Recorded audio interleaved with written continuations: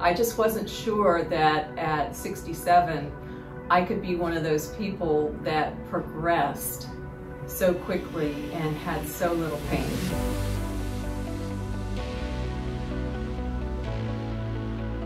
I am number one an avid tennis player like two to three hours a day, six days a week.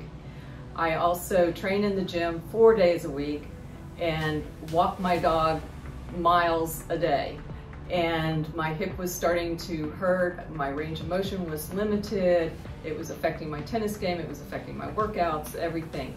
I um, had my surgery done at the outpatient surgery center. I went home the same day. Since the surgery, I've had minimal pain and I feel great.